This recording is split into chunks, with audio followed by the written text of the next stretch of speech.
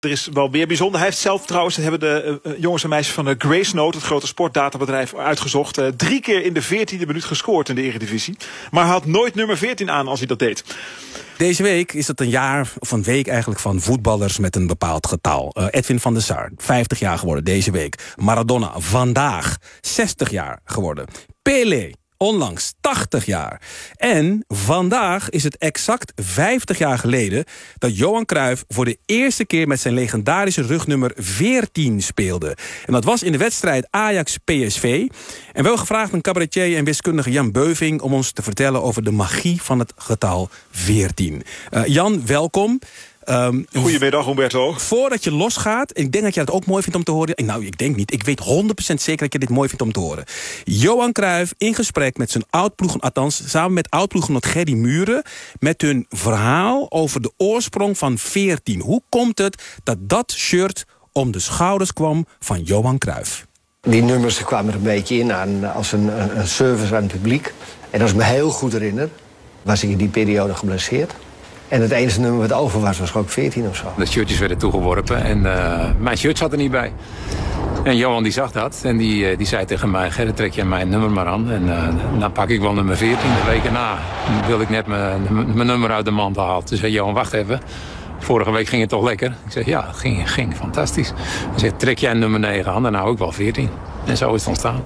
Johan Cruijff en Gerry Muren over het ontstaan van nummer 14. Wist je dat, Jan Beuving? Uh, ik heb dit fragment wel eens eerder gehoord, ja. En het blijkt ook maar weer dat het gewoon uh, toeval was ook uiteindelijk. Hè. Hij was even geblesseerd en dus had hij toevallig nummer 14. Nou, maar ja, niks is toeval bij Cruijff natuurlijk, hè. Nee, zeker niet. En zit dat ook uh, toch, ondanks het feit dat het toevallig was, nummer 14... zit er toch nog iets in waarvan je zegt... hé, hey, dat is wel bijzonder met dat nummer?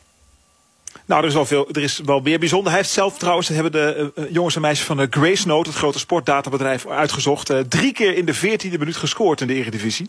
Maar had nooit nummer 14 aan als hij dat deed. Hij heeft namelijk één keer gescoord met nummer 9 nog bij Ajax. En twee keer uh, met nummer 10 toen hij bij Feyenoord speelde. Maar dit terzijde. Uh, het getal 14 zelf is natuurlijk wel een, uh, een, een, aardig getal. Het, is, het eerste wat een wiskundige altijd doet is natuurlijk even het getal ontleden in priemgetallen. Je kunt ieder getal, dus de hoofdstelling van de rekenkunde, ontleden in een uniek product van priemgetallen. Dus 14 is 2 keer 7. Dus je zou kunnen zeggen dat Kruif twee keer James Bond is eigenlijk. Het is 007 keer 2. Dan heb je 14, dat is dan Kruif. En hij was natuurlijk zelf ook een soort dubbelspion Cruijff. Want hij speelde zowel voor Ajax als voor Feyenoord op het eind. Uh, en wat interessant is aan 14 is dat het een, uh, een vierhoekig piramidegetal is. Enig beeld bij, uh, Humberto? Ik heb geen idee waar je het over hebt. Nee. Een vierhoekig nee, piramidegetal? Zeker, maar het is vrij eenvoudig in te zien. Uh, als je 14 sinaasappels hebt, dan kun je precies een piramide bouwen die uh, vierkant grondvlak heeft. Oh. Dus dan leg je eronder 9 neer, heb je 3 bij 3. Dan heb je zo vier kleine kuiltjes in die negen, uh, in, in, in, dat, in die negen sinaasappels. Dan kun je er weer vier inleggen en daarbovenop ligt er één. Als je bij een groenteboer komt, zie je heel vaak zo'n stapel, zo'n stapeling van sinaasappels. Ja. En met 14 sinaasappels kun je dus precies een vierhoekige piramide van drie lagen bouwen. Ik zie hem. Dat heet een vierhoekig. Hier zie je hem. Ja, dat is mooi. En het is ook een Keith-getal. En een Keith-getal, dat, is wel, uh, dat is wel bijzonder. Uh, ik zou je precies kunnen zeggen wat het is, maar dat is, uh, dat is een vrij ingewikkelde definitie. Maar als je het getal 14 neemt. En uh, je maakt een reeks van getallen die begint met 1 en 4. En ieder volgende getal in die reeks neem je telkens de som van de twee vorige. Dan heb je eerst 1, 4. En dan krijg je daarna natuurlijk 5. Ja. Want uh, 1 plus 4 is 5. En dan heb je 1, 4, 5. En dan is het volgende getal natuurlijk 9. Want 4 en 5 is samen 9. Ja. En dan heb je 1, 4, 5, 9. En daarna krijg je natuurlijk 14. Want 5 plus 9 is 14. En een Keith-getal is een getal dat dus voorkomt in zijn eigen reeks als de cijferreeks begint met de getallen waaruit het getal opgebouwd is. En dat klinkt een beetje triviaal. Dat is het, het is, in zekere zin is het, is het uh, je hebt er vrij weinig aan. Het is vrolijk voor een vrijdagmiddag op de radio, maar ja. verder niet zoveel. Um, maar het, het leuke is, ze zijn heel bijzonder, de Kiert-getallen. Er zijn er maar ongeveer 100 bekend. En uh, Kruijff die wist dus eigenlijk intuïtief al dat nummer 14, nou, dat moet een heel bijzonder wiskundig nummer zijn.